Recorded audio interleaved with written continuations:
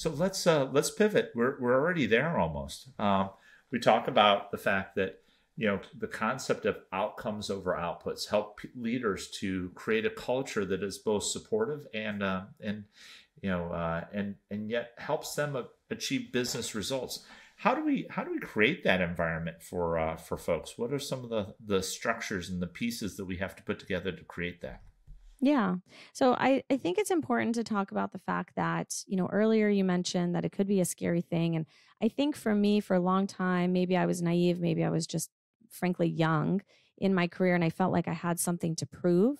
So I was not vulnerable at open at, at all. I was not open. I didn't lead that way. I felt like I had to have a persona. I had to um, have a very strong presence, and that couldn't mm. coexist with vulnerability. And that has mm-hmm. changed over time because I have learned that you can lead a very high performing, high functioning, results driven, goal oriented team and still be true to yourself and still be open and still be honest and still be transparent.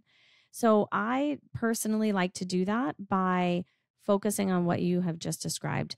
We focus on outcomes versus outputs. So an output could be something like, and again, this is just my function. So I'm an, a senior vice president of marketing communications.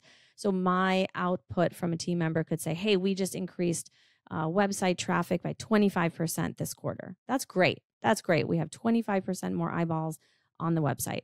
But what did that result in? Have we seen an mm-hmm. uptick in our leads? Have we seen an uptick in expansion within existing customers? Have we seen, um, you know, an increased sales funnel, sales pipeline?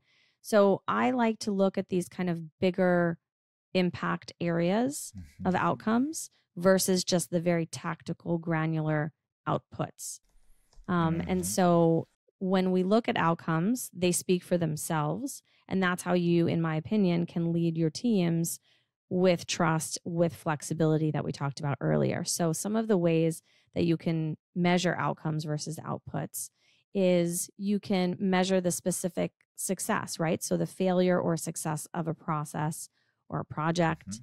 Um, and then you can basically iterate and improve upon it once you're able to measure it. Because if it didn't, if you can't measure it, it didn't happen. mm-hmm. um, and then it also encourages some innovation, right? It, it sparks new ways of thinking, new approaches, new solutions um, to think about the various challenges and problems that we have as business leaders.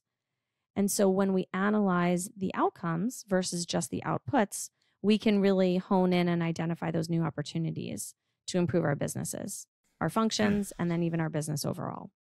And then I think it also gives us a very clear understanding of the um, impact of our actions. And so then we can really have stronger, more confident decision making as leaders and executives.